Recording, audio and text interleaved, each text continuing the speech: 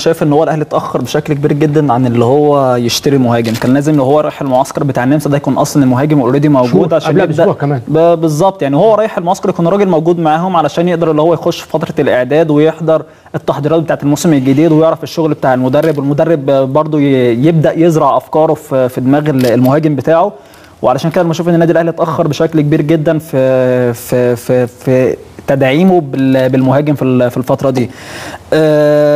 كهربا وصلاح محسن لو هم دول اللي هي هيتم الاعتماد عليهم في الفترة اللي جاية كمهاجمين للنادي الأهلي أنا شايف إن دي مشكلة كبيرة جدا. مشكلة كبيرة جدا إن الاثنين نفس ال- اللعيب. يعني كأنك نفس ال profile بتاع اللعيب حاجة ما فيهاش ما فيش فيها تنوع في في الفرقة.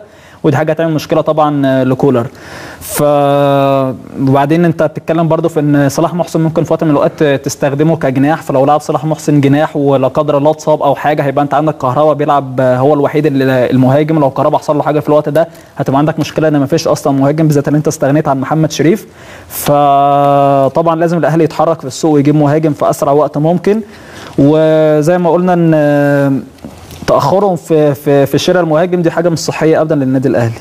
خلي بالك لأنها تعليقا على الكلام ده الأهلي حاطط 2 مليون 2 مليون ونص بحد أقصى للمهاجم. فأنا وجهة نظري إن الأهلي ضيع وقت كبير جدا مع مهاجمين معروفين إن هم أرقامهم عالية جدا. أنا بالنسبة لي كان الوقت ده كله يتحط لك في البادجت أو الرقم اللي أنت حاطه كان لجنة الكورة كانت تركز بشكل كبير لأن بعد رضا سليم وبعد إمام عاشور أعتقد وده اللي إحنا قلناه الحلقة اللي فاتت لما قلت لك كان لازم إمام عاشور دي فرصة لا تعوض أخش على المهاجم وأضخ كل الفلوس في حتة المهاجم جه بقى رضا سليم ما جاش كان رضا أول. من رأس سليم أنت قلت لا، فعلا إن لكن أنت. دلوقتي آه. أنت حرقت خمسة أو خمسة ونص مليون دولار ودلوقتي أنت داخل على المهاجم ما ينفعش يبقى لعيب نص ملعب بثلاثة أو ثلاثة وكسور والمهاجم دلوقتي أجيب بقى واحد بواحد ونص أو اتنين. هي دي الازمة الكبيرة لأن خاصة موليكا باوك اليوناني داخل عايز ياخدوا اعارة بنية البيع. فانت دي منافسة مش سهلة لأن الدولار في الاهلي حتى لو متوفر غير في اوروبا. اوروبا الدولار سهل انت بتتعامل عادي دي عملة البلد يعني انت زي؟ الجنيه عندنا. بالظبط فالقصة سهلة.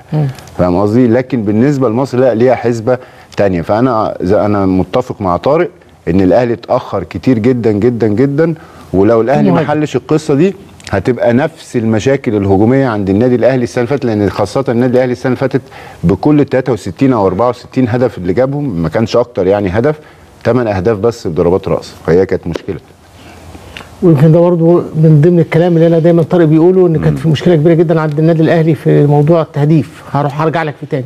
آه موليكا راح موليكا جه النهارده كان معانا تصريحات خاصة لرومونتادا هنشوفها مع بعض وهتعقب عليها انت وهشام. آه آه معانا لو معانا على اليمين هنا آه ما نشر عني عن طريق وكيلي يد- يدعى جيان ويلي نجومه بخصوص إمكانية انتقالي إلى الأهلي غير صحيح.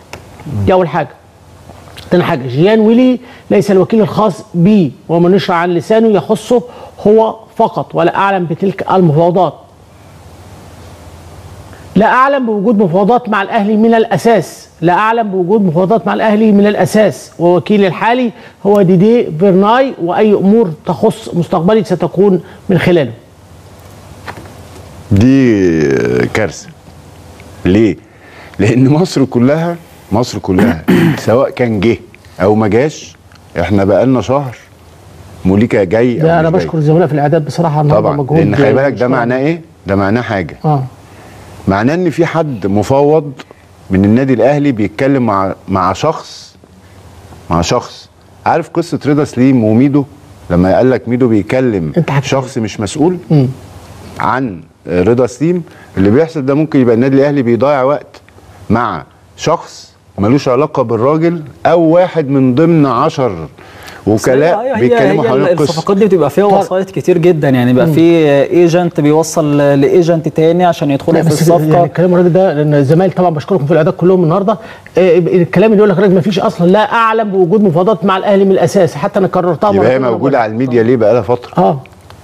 ما أكيد الأهلي إلا الأهلي عامل خدعة بيوديك شمال وهو شغال في حتة يمين. أجويرو مش مقتنع بالكلام؟